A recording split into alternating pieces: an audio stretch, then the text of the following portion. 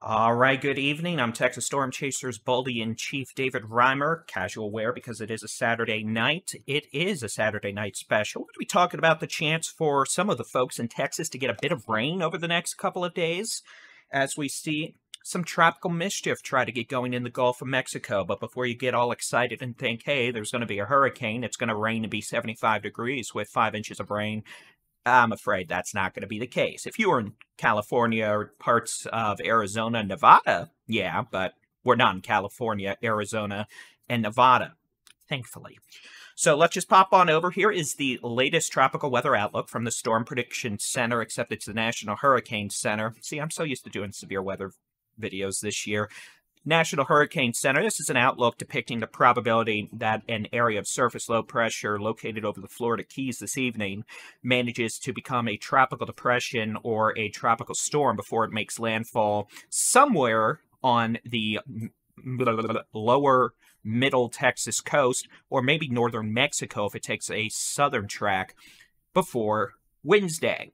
So, what does that mean? Well, let's pop on over and take a look at this. This is a different look. This is the European weather model ensemble. About 50 different runs of the same weather model initialized under slightly different parameters. And if all those were to come together and support a similar solution, higher confidence in the forecast. Likewise, if they all looked completely different, lower confidence in a forecast.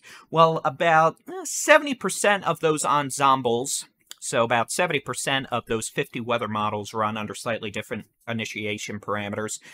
Develop a tropical depression before this area of low pressure makes landfall sometime, probably Wednesday morning, Wednesday afternoon, in either northern Mexico or the lower middle Texas coast. You can see here this particular model set is favoring the northern Mexico, lower Texas coast, Rio Grande Valley solution.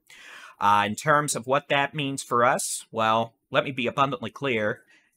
I don't think this is going to be a hurricane.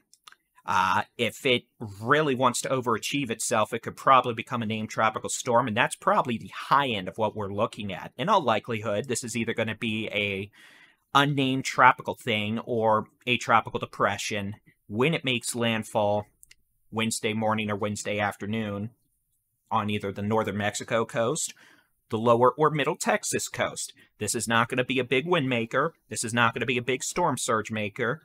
Uh, probably not a big tornado maker. You can't rule out one or two weak tornadoes or waterspouts moving on shore. And this is not going to be a tropical system that stalls across one area for days on end, dropping 40 inches of rain. This thing's going to be moving and so we're not even looking at all that much rain, to be frank with you. In terms of forecast rain totals over the next several days, here's the latest from the Weather Prediction Center, keeping in mind the potential that this could become a tropical spinny, spinny doom doom, in name only, really. Uh, as you can see, we don't have any of the bright red, scary colors of doom. Uh, you'd be shocked to know this was in association with a tropical cyclone, maybe. Uh, maybe two inches of rain in South Texas, if you get lucky. Some folks may get a little more than that across South Texas, the Rio Grande Plains, the Rio Grande Valley, maybe the coastal bend right on the coast.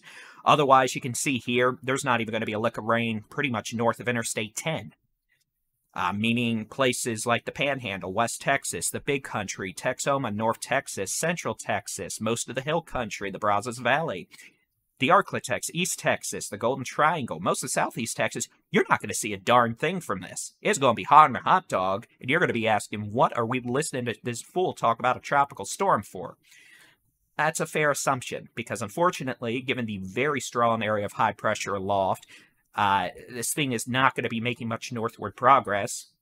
And as you can see, uh, rain chances are going to be confined to the Rio Grande Valley, the Rio Grande Plains, the coastal bend, the middle Texas coast, maybe a bit of the Victoria Crossroads, through the Edwards Plateau, southern hill country, southwest Texas, into the Big Bend region, far west Texas, the Guadalupe Mountains, the Davis Mountains, the higher and lower elevations, into far west Texas, the borderland.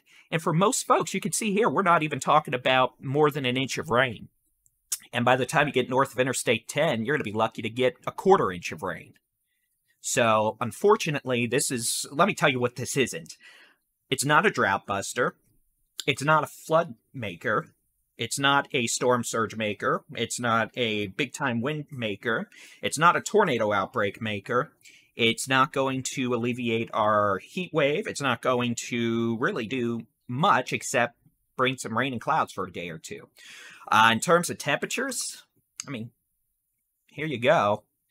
Uh, high temperatures, oh, yeah, let's do this. I forgot to show you. I made a fancy graphic and I forgot to show you. I'm very disappointed in myself. Hold on, I gotta find the fancy video. Do, do, do, do, do, do, do, do, do, do. Here, click on this real quick, and this will kind of give you a timeline progression, you know, all that. Here's what the American model, the global forecast system shows. You can see moves on shore Tuesday. Did I say Wednesday? I meant Tuesday. Uh, Tuesday, Wednesday, really, it doesn't matter. It's going to rain.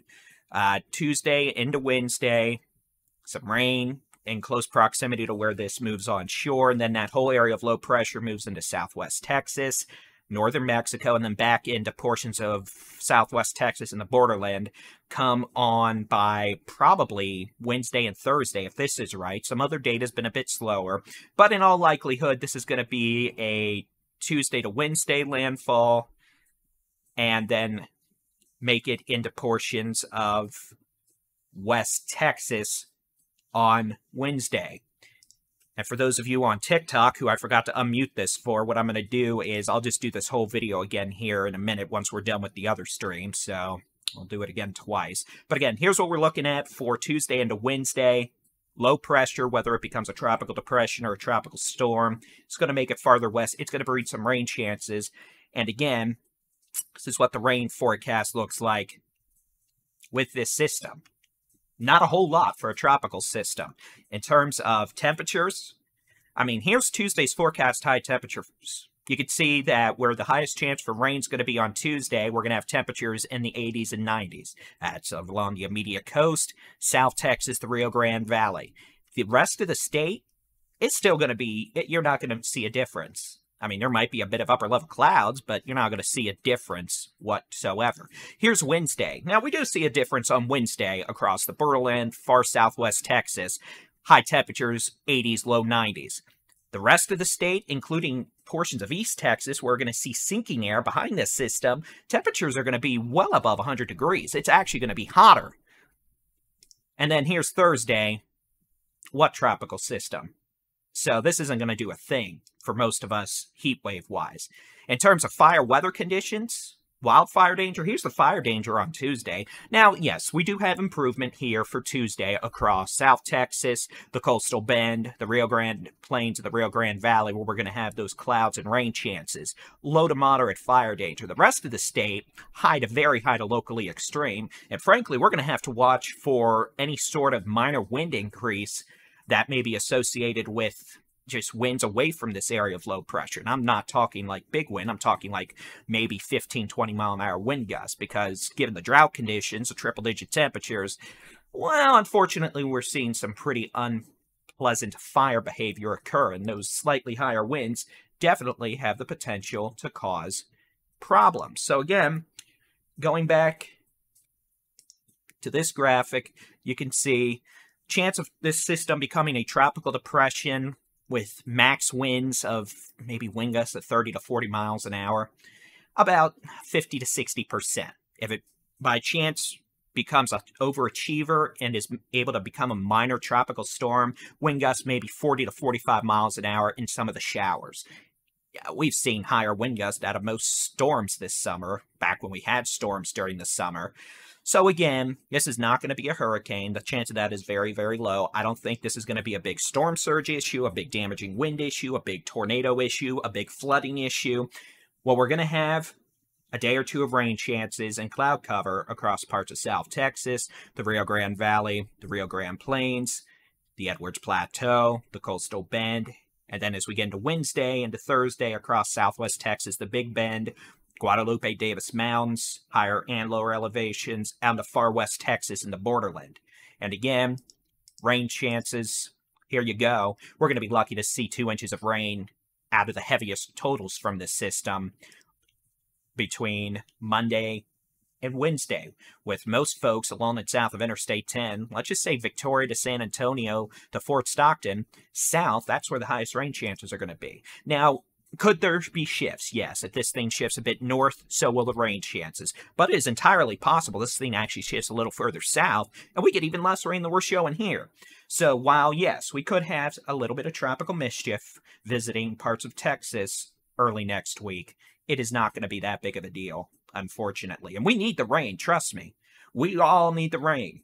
This is not going to be a system that sits itself around and tries to drop 20, 30 inches of rain. This ain't no Allison, Harvey, etc. This is going to be skadoodling along, dropping maybe one to two inches of rain for some lucky folks in South Texas, the coastal bend into the Rio Grande Plains, which is not going to be enough to cause widespread flooding. Maybe some nuisance street flooding, but uh, besides that, uh, we're probably just going to see the humidity become more atrocious later in the week because this upper level heat dome, it's not going anywhere. Unfortunately, we're looking at at least another two weeks of this absurdity and that's going to bring us into September. So that is going to be it for your little tropical weather update. That's all for me to say in the many moods of Spock. Not much is going to happen. Some folks are going to get rain for a day or two, but it's not going to be enough to even put a dent in any sort of drought conditions that have developed.